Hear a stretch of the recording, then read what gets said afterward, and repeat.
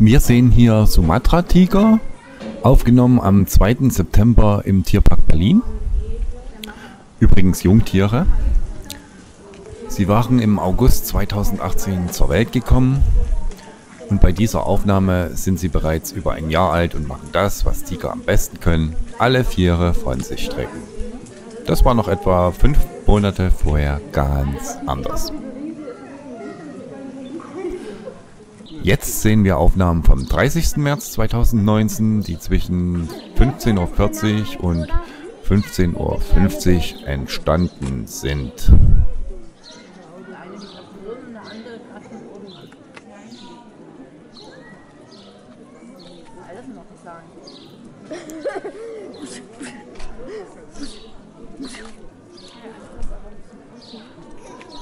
Der, der größere ist wahrscheinlich der Junge und der kleinere ist wahrscheinlich der Mädchen.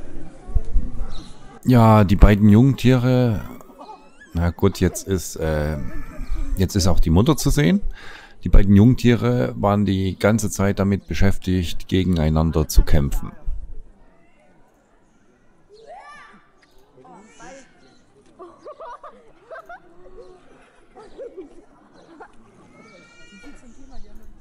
Die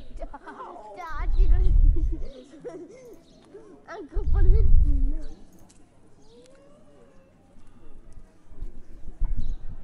Angriff von hinten, Alter. Da hat ihn richtig reingegriffen.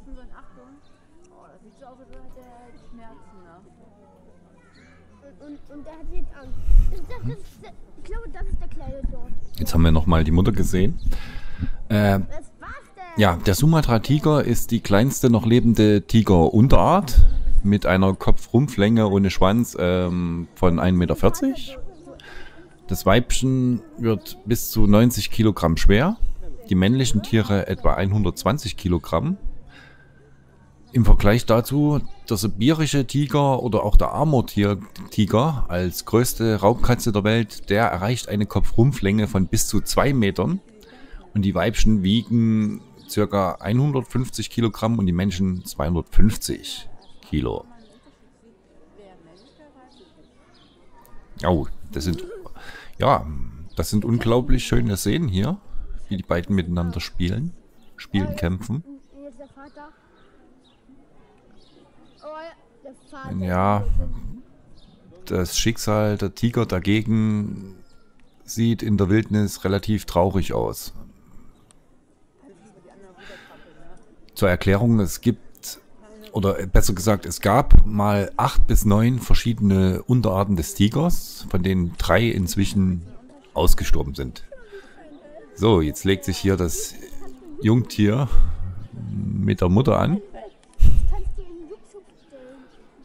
Mutter ist natürlich stärker.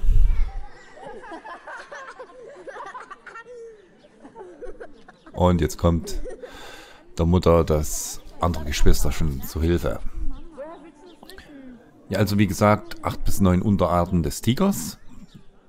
Drei von ihnen sind bereits ausgestorben. Uiuiui. Und eine vierte Unterart, der südchinesische Tiger, wurde zum letzten Mal 1964 in der Wildnis gesichtet. Und von dem gibt es aber noch in chinesischen Zoos etwa 60 südchinesische Tiger.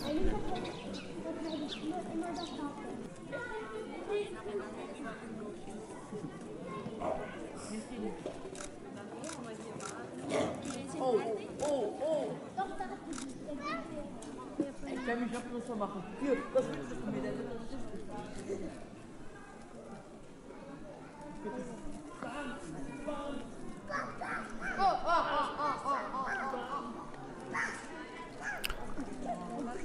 Heute leben noch etwa 3000 bis 5000 Tiger in der Wildnis. Allesamt in verschiedenen isolierten Gebieten.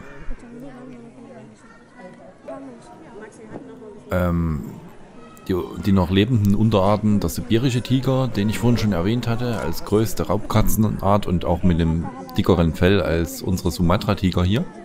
Als sibirischer Tiger, in Indien dann der Königstiger, auch in Nepal und Bangladesch und Myanmar kommt er vor. Dann der indochinesische und der malaiische Tiger, die nach ihrer Herkunft äh, benannt sind. Und unsere Sumatra-Tiger sind die einzige noch existierende Inselunterart, also Inseltiger. Ursprünglich gab es auf den Sunda-Inseln in Indonesien und Malaysia ähm, oha, ein Kürbis. Schmeckt nicht besonders, ist aber ein schönes Spielzeug. Ähm, also auf den Sunda-Inseln Indonesiens und Südmalaysia und äh, Indonesiens und Südmalaysia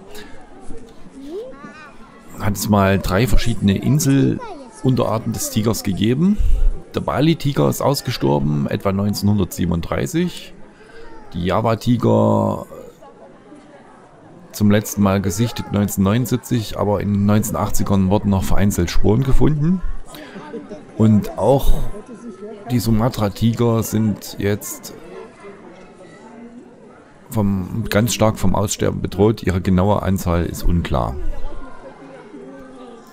Und wenn man sich das mal durch den Kopf gehen lässt, äh, im 10. und 11. Jahrhundert, da lebten Tiger noch vom Kaukasus bis vom Kaukasus, also bis nach Ostchina und natürlich bis äh, runter äh, auf die Inseln Malaysias und Indonesiens.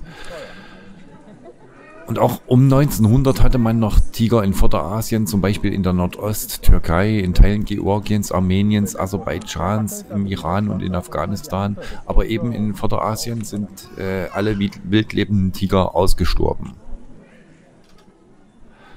Ja, hoffen wir mal, dass es äh, den verbleibenden Tiger-Unterarten besser geht. Und dann verabschiede ich mich noch mit diesen Bildern hier.